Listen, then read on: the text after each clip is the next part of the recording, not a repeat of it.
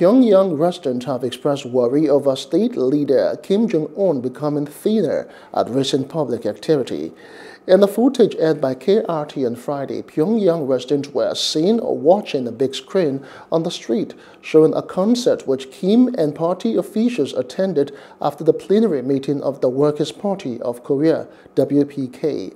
Earlier this month, KRT also released a video of Kim attending a party meeting that showed him looking visibly thinner compared to footage said to be from about four months ago.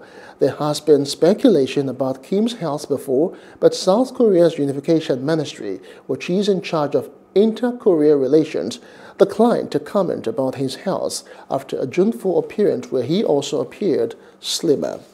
Hello. Hope you enjoyed the news. Please do subscribe to our YouTube channel and don't forget to hit the notification button so you get notified about fresh news updates.